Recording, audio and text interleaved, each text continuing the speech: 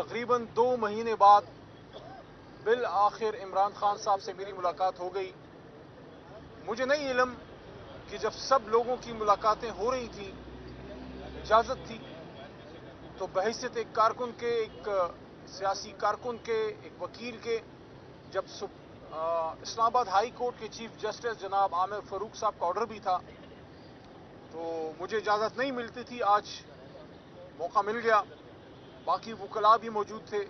काफ़ी देर इमरान खान साहब के साथ आज बैठक का मौका मिला। बहुत सी चीज़ें डिस्कस हुई। इस बात पे बड़ा खुश हूँ कि दो महीने पहले इमरान खान साहब को जिस हौसले में छोड़ा था, उससे उनका हौसला बड़ा है, कम नहीं हुआ है। हाँ उन्होंने खुद ये बात की कि तकरीबन पाँच दिन उनके सेल की बिजली बंद थी। और उन्होंने कहा कि कुछ 12, 14 घंटे 10 घंटे से ज़्यादा जो वो अंधेरे में रहना पड़ता था। सुन के बड़ा दुख हुआ कि इमरान खान साहब सिर्फ़ सबक वज़ीर आज़म या चेयरमैन तहरीक इंसाफ ही नहीं इस मुल्क के कौमी हीरो भी हैं। क्या ज़िंदा कौमें अपने हीरोज के साथ ये करती हैं? क्या सबक वज़ीर आज़म इस सलूक का वो मुतहमल था या इमरान खान साहब के साथ ये जो किया गया क्या ये जायज़ था और आपको इससे क्या मिला क्या आवाम से उनकी मोहब्बत कम हो गई क्या अवाम से उनका रबता टूट गया रास्ता उनका दिलों के साथ जो उनका वास्ता है वो टूट गया क्या इमरान खान साहब का हौसला टूटा या अवाम का हौसला टूटा वो तो बड़ा क्या आप इसको नहीं समझते कि जो दो साल से तहरीक इंसाफ और इमरान खान साहब के साथ हो रहा है। जो कौम के लीडर को, उम्मत के एक बड़े लीडर को अडयाला जेल की इस काल कोठी में डाला है, इससे कौम में नफरत और गुस्सा पैदा हो रहा है। मैंने कभी जिया साहब के जमाने में, हम स्टूडेंट थे, कम उम्र थे, लेकिन यादाश्त है। या मुशर्रफ साहब का जब इमरजेंसी आई, हमने कभी कौम और इदारों के बीच में इतना फासला नहीं देखा जो अभी है जो नहीं होना चाहिए। क्योंकि हमारे लीडर, कौम के लीडर इमरान खान साहब ने हमेशा ये बात की है कि मुल्क भी मेरा है, फौज भी मेरी है, इदारे भी मेरे हैं। तो फिर ये क्यों हुआ? कौम को अपने से दूर क्यों कर रहे हो? ऐसा मत करो। इमरान खान साहब को बाहर आना चाहिए। इमरान खान साहब का एक स्टेटमेंट होगा और फिर पूरी कौम और इदारे और सब लोग आपस में दोबारा बाहमी शीर शक्कर होंगे। लेकिन ये काम इस 25 करोड़ में एक आदमी कर सकता है, और उसका नाम इमरान खान है। जो हमारे साथ किया गया और जो हो रहा है, जो 26वीं आईनी बातें हो रही थी, इजाज़त थी तो बहसीत एक कारकुन के, एक सियासी कारकुन के, एक वकील के, जब इस्लामाबाद हाई कोर्ट के चीफ जस्टिस जनाब आमिर फरूक साहब का ऑर्डर भी था। तो मुझे इजाज़त नहीं मिलती थी। आज मौका मिल गया। बाकी वकला भी मौजूद थे। काफ़ी देर इमरान खान साहब के साथ आज बैठक का मौका मिला। बहुत सी चीज़ें डिस्कस हुई। इस बात पे बड़ा खुश हूँ कि दो महीने पहले इमरान खान साहब को जिस हौसले में छोड़ा था, उससे उनका हौसला बड़ा है कम नहीं हुआ है।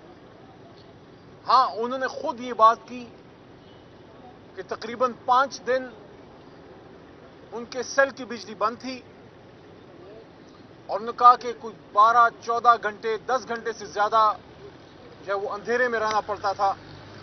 सुन के बड़ा दुख हुआ कि इमरान खान साहब सिर्फ़ एक सबक वज़ीर आज़म या चेयरमैन तहरीक इंसाफ ही नहीं इस मुल्क के कौमी हीरो भी हैं। क्या ज़िंदा कौमें अपने हीरोज के साथ ये करती हैं? क्या सबक वज़ीर आज़म इस सलूक का वो मुतहमल था? या इमरान खान साहब के साथ ये जो किया गया, क्या ये जायज़ था? और आपको इससे क्या मिला? क्या आवाम से उनकी मोहब्बत कम हो गई? क्या आवाम से उनका रबता टूट गया? रास्ता उनका दिलों के साथ जो उनका वास्ता है वो टूट गया। क्या इमरान खान साहब का हौसला टूटा या अवाम का हौसला टूटा? वो तो बड़ा। क्या आप इसको नहीं समझते कि जो दो साल से तहरीक इंसाफ और इमरान खान साहब के साथ हो रहा है, जो कौम के लीडर को, उम्मत के एक बड़े लीडर को अडयाला जेल की इस काल कोठी में डाला है, इससे कौम में नफरत और गुस्सा पैदा हो रहा है? मैंने कभी जिया साहब के जमाने में हम स्टूडेंट थे, कम उम्र थे, लेकिन यादाश्त है। या मुशर्रफ साहब का जब इमरजेंसी आई, हमने कभी कौम और इदारों के बीच में इतना फासला नहीं देखा जो अभी है, जो नहीं होना चाहिए। क्योंकि हमारे लीडर कौम के लीडर इमरान खान साहब ने हमेशा ये बात की है कि मुल्क भी मेरा है, फौज भी मेरी है, इदारे भी मेरे हैं। तो फिर ये क्यों हुआ? कौम को अपने से दूर क्यों कर रहे हो? ऐसा मत करो। इमरान खान साहब को बाहर आना चाहिए। इमरान खान साहब का एक स्टेटमेंट होगा और फिर पूरी कौम और इदारे और सब लोग आपस में दोबारा बाहमी शीर शक्कर होंगे। लेकिन ये काम इस 25 करोड़ में एक आदमी कर सकता है और उसका नाम इमरान खान है। जो हमारे साथ किया गया और जो हो रहा है, जो 26वीं आईनी तरमीम जिस तरीके से पास की गई, वो फस्तायत आज भी जारी है। कल रात जिस तरह हमारे बहुत ही मोहतरम एम एन ए जनाब ख्वाजा शिराज साहब को उठाया गया, गायब किया गया, ये क्या है?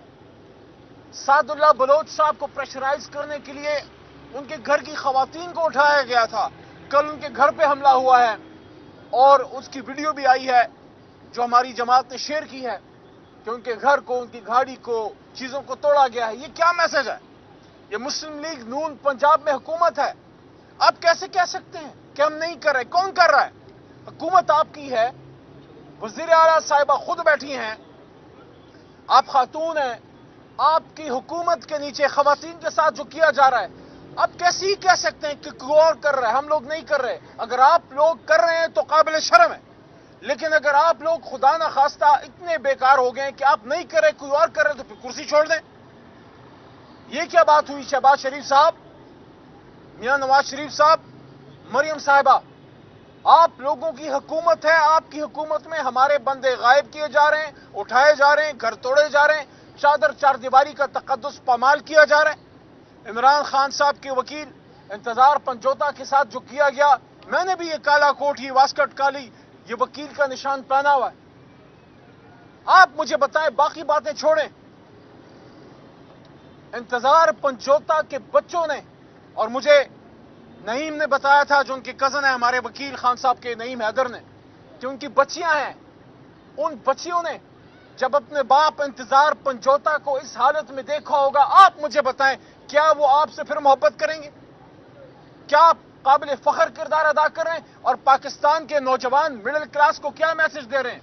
कि चाहे आप सीएसएस कर लें, चाहे आप वकील बन जाएँ डॉक्टर बन जाएँ, अगर आप हक बात पे खड़े होंगे तो आपके साथ ये किया जाएगा जो आज़म सवाती के साथ किया जा रहा है, जो इंतज़ार पंजोता के साथ किया गया, कौम का बेटा बहादुर, जिस तरह शरियार खान अफरीदी ने सडियाला जेल में मुसीबतें झेली, एक और बेटा कौम का मुराद सईद, जो कब से अपनी जान बचाने के लिए रोपोश है, इस धरती का एक और बहादुर बेटा बलोचिस्तान का सपूत, कासिम खान सूरी, जो फखर है बलोचिस्तान का नहीं पूरे पाकिस्तान का।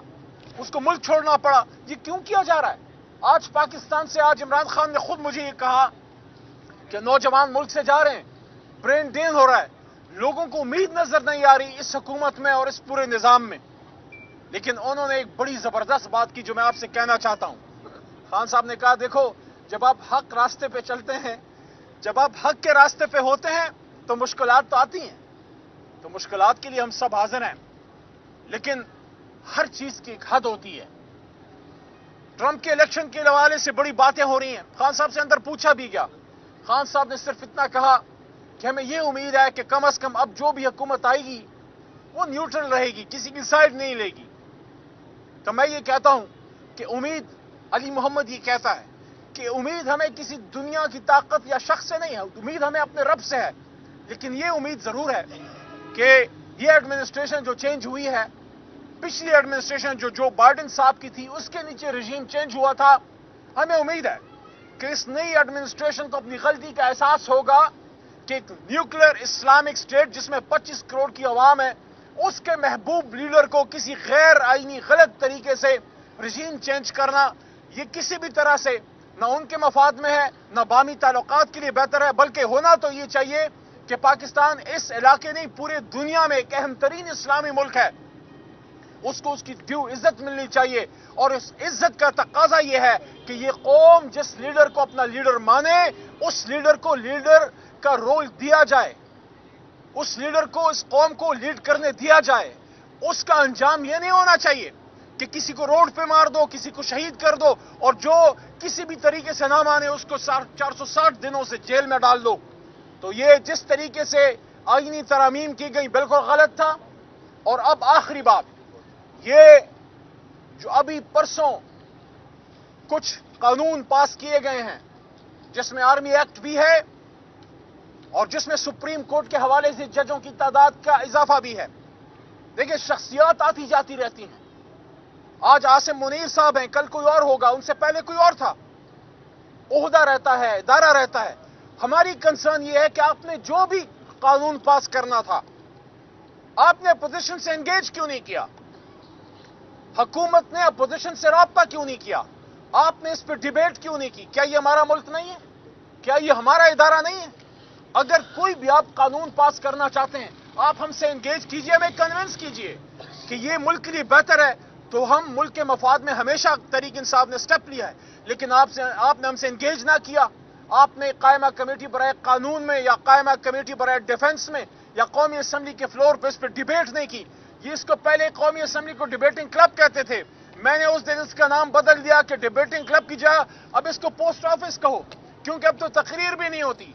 अब तो लिखा लिखाया आता है, उस पर ठप्पा मार देते हैं। बल्कि मैं कहता हूँ, खर्चा बचाओ खर्चा बचाओ। सारे पार्लियामेंटेरियंस की जगह एक पोस्ट ऑफ़िस का क्लर्क बैठा दो, ताकि जो चीज़ आए, ठप्पा लगा के आगे फॉरवर्ड कर दे। और अगर ये पार्लियामान है तो यहाँ डिबेट होनी चाहिए। आपने अगर किसी इधारे के सरबराह की मुद्दत में तोसी करनी है टाइम फ्रेम में या कुछ भी करना है, उसको डिबेट करें। अगर अच्छा है तो पाकिस्तान के मफाद में हम आपके साथ हैं, लेकिन आपने तो डिबेट ही नहीं किया। माजी में एक्सटेंशन भी मिली हैं, लेकिन उसूली तौर पर तरीके इंसाफ एक्सटेंशन के हक में नहीं है। हम समझते हैं कि इदारा मज़बूत होना चाहिए, और जब आप एक तवील मुद्दत तक आप एक्सटेंशन देते रहते हैं तो उससे इदारा जो है, उसकी स्ट्रेंथ में कमी आती है। हम अपनी इदारे की मजबूती चाहते हैं हम शख्सियात के खिलाफ नहीं है ना किसी के हक में ना खिलाफ है लेकिन ये तो ज़रूर रखते हैं कि कोई भी कानून अगर हुकूमत लाती है चाहे कोई हुकूमत हो आज इनकी है कल हमारी होगी इंशाला आप पार्लियामेंट में लाइए आप दूसरे को कन्विंस कीजिए ये हमारा मुल्क है ये हमारा इदारा है इसको मज़बूत करेंगे जिस चीज़ में बेहतरी होगी उसको करेंगे और जो सुप्रीम कोर्ट के साथ आप कर रहे हैं बत्तीस जज आप ला रहे हैं हिंदुस्तान की डेढ़ अरब के करीब आबादी है उनके बत्तीस तैंतीस जज पच्चीस होंगे तीस होंगे अमरीका जैसे मुल्क में शायद तीस भी नहीं होंगे, तीस के करीब होंगे। आप 25 करोड़ के मुल्क में अचानक 50 परसेंट इंक्रीज क्यों कर रहे हैं? आप क्यों सुप्रीम कोर्ट की ताकत को कम करना चाहते हैं? पहली चीफ जस्टिस के अहदे के साथ आपने खिलवाड़ किया और खान साहब से पूछा, ये बात मैंने रखी सामने। तो खान साहब ने कहा कि एक ही मकसद है, सुप्रीम कोर्ट की ताकत को डायल्यूट करना। देखिए, लीडर की एक बात होती है उन्हें बता दिया। मकसद यह है कि सुप्रीम कोर्ट की ताकत को कम करें। आप बत्तीस जज लाना चाहते हैं, आपने डिबेट किया? आपने कायमा कमेटी बरए कानून में इसको लाए? वो कला से, बार काउंसिल से आपने डिस्कशन की है? आप अचानक जो है एक चीज़ लेके आ गए, उसको आपने पास किया और फौरी आपने इजलास खत्म किया। हमारा नुकता यह है, जो भी पास करना था, जो भी लाना था, पहले कौमी असम्बली के फ्लोर पे लाएँ, अपोजिशन से इंगेज करें, उसके बाद हम उसको इमरान खान साहब के पास अडियाला लेके आते और अगर वो अप्रूव करते तो हम भी आपको सपोर्ट कर देते। लेकिन आपने ऐसे किया जैसे खुदा ना खास्ता आपके पीछे को डंडा है और आप भागे जा रहे हैं। आपको क्या जल्दी है? और आखिरी बात, एक बार फिर वही बात, जो सब बातों की एक बात है। कौम को लेके आगे जाना है, पाकिस्तान को लेके आगे जाना है। पाकिस्तान के मसाइल का हल चाहते हो तो जमहूर की सुनो। जबान खल्क को नकार खुदा समझो। जबान खल्क आठ फरवरी को बोली थी और एक ही आवाज़ में बोली थी कि कौन बचाएगा पाकिस्तान? अल्लाह के करम से इमरान खान। आप इमरान खान को बाहर लेके आए, उनको मौका दें।